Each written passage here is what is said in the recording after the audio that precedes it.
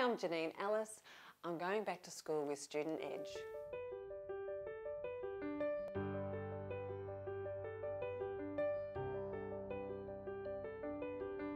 Hi, I'm Simon Miraudo, and today I'm sitting down with Janine Allis, founder of Boost Juice and one of the Shark Tank Sharks. How scary is that? It is. Is that, Shark Tank. It feels a bit wrong to say to describe you as a shark. Is It that does. insulting in any way, or is that you? Well, look, for some, funnily enough, the others are really happy to call themselves Right. sharks, right? And then when people go, I, I, I'm an investor on the Shark Tank show, because I just can't Sure. shark, it's just wrong. Janine, what were you like as a high school student?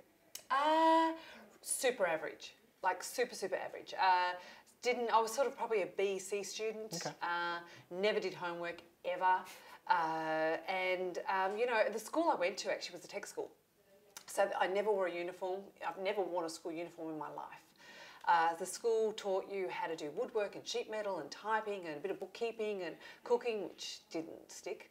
Uh, and so it was one of those schools. So it actually didn't even have a year 12. Right. It only went to a year 11. So when you finished school, you didn't even go, oh, we'll go to university or we'll study this or this or this. We just went, oh, we're now in the workforce and none of my peers went to university. So now, you know, now that I've got my own kids and you know they're sort of at the stage of going to university, I go, how bizarre that I didn't even think about it or contemplate it. So it's, it's just the path you take. So why do you think that was? That you maybe weren't so engaged? Was it that those subjects weren't where your passions lied, or, or was it kind of just the, the culture of the school, perhaps? It was the culture of the area. So at the moment, where kids are going to school now, they go, yeah, we're talking a few years ago, uh, they go, well, okay, I'll finish year 12 and I'll get good marks and I'll get a certain score and I'll choose my university and if I go, I'll continue going, I might have a sabbatical or not, or, you know, they're the choices they make.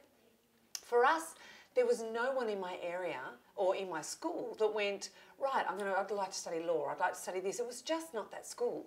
It was a tech school. The tech school was designed to create trades. Um, no, in hindsight, I would have loved to do law. In hindsight, and actually, funnily enough, I'm actually a bloody good legal person Sure. in this business, and probably good luck anyone understanding trademarks more than me. Um, so, but it's but it wasn't a negative. It was just the way it was. Okay. Did you have, uh, I guess, professional goals? Did, were you able to go, well, I'm not loving this, but I want to become this when I leave school, or at, you know, in 20 years' time, I hope I'm doing this. Did, could you, do you have that foresight, or again, was the school maybe not conducive to that planning? No, look, I was 16. I was just going, you know, um, what guy likes me? Will he call me tomorrow? Uh, what's my latest outfit I want to wear? Am I going to win my grand final in netball? And um, you know, what pub can I go to to you know have a bit of fun? Like that's what I was thinking about at Sure. 16. I wasn't the girl who who went. I had my best, first business idea at 16. All I wanted. Uh, pretty much from, you know, I started work, I started working in advertising agency as a junior, junior, junior burger in the 80s. Uh, so we're talking, you know, big hair and big pads on the shoulders. And it was really about um, saving enough money to travel. For me, my goal and my, my vision was to, to go around the world. I told my parents I was going to travel for three months, and seven years later, I returned. yeah, and you know, Every parent's nightmare, by the way. but- shocking, shocking, right? And God help me if my children do the same thing. I hope they don't. Uh, and you know, so for me, it was about you know having an adventure, you know. And I got myself into all sorts of pickles. I was young and dumb, you know, dumb girl traveling around, far too short shorts, having an absolute ball. End up being on David Bowie's yacht. Worked for him for a couple of years. Rocks, you know, hang hung out with rock stars. You know, went to everywhere from Europe to the Caribbean to the Canary Islands to you know just let life take me on a journey. Uh, And everyone has their aha moment at different ages. You know, for me it was my late twenties. You know, so you know those the people watching this and going, oh my god, I've got to get these marks because I've got to work out what I want to do for the rest of my life. I'm I don't know what I want to do for the rest of my life. you know, you just gotta. Yeah, sometimes you know you do your best that you can possibly do, which gives you options. You know, university gives you options. Good marks on year 12 gives you options. It doesn't mean you'll fail or it doesn't mean you'll succeed in life. And I think that's the key thing because why you'll succeed in life is the tenacity and the drive and the job that you do along the way, not just the marks. And I'm not taking away from how important that marks are, particularly if you want to get into the courses you want to get into. But don't get hung up on it because life is there's there is life beyond university. There's life beyond you know good marks. That When- was a very long question. No, it was great. We covered a lot of points, and I love You've it. got, you've probably gone through your whole list now. No, Done. no, I, I believe me, we have not even touched. Like I said, we were coming back to David Bowie, and I'm curious. Okay. You know, even now when you look back on those odd jobs, jobs you had taken, as you said, just to make money, just to have those experiences. Do you feel like, well, I actually learned so many lessons from that that, I, that apply today? Like, what life lessons do you learn from David Bowie on a yacht? Yeah, look, I think the two two key things. In actual fact, if someone's watching this and they are so freaking angry at their at their um, university lecturer or teacher or boss, and they think he's a jerk, right? There's more lessons in that than than smooth sailing.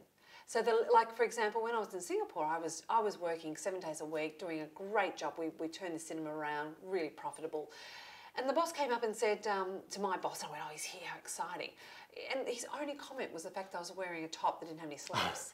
and so I went, that's outrageous. I'll never do that to someone. And so I don't know, you have a look at my office. There is lawyers in board shorts, right? I don't care what people wear. It's actually what they do. And so quite often the result of a bad boss will teach you more things about how you can be than a good experience.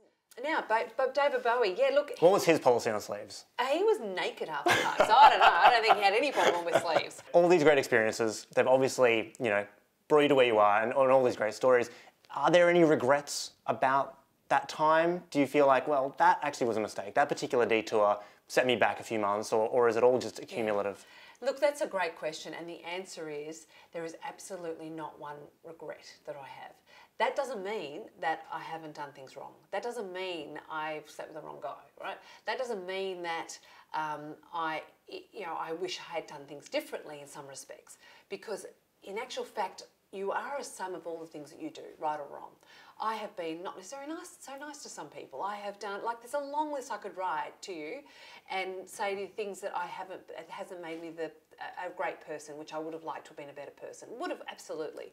And there was decisions I made, and in business, you know, I've made some decisions which have cost the business a lot of money. Which that, but you get to a point where you go, without all of those things that I did wrong, I couldn't be where I am.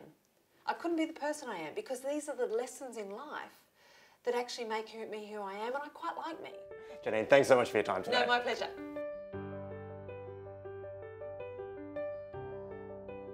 Hey guys, if you enjoyed that video, click here to subscribe to our YouTube channel or find more of our stuff at studentedge.com.au.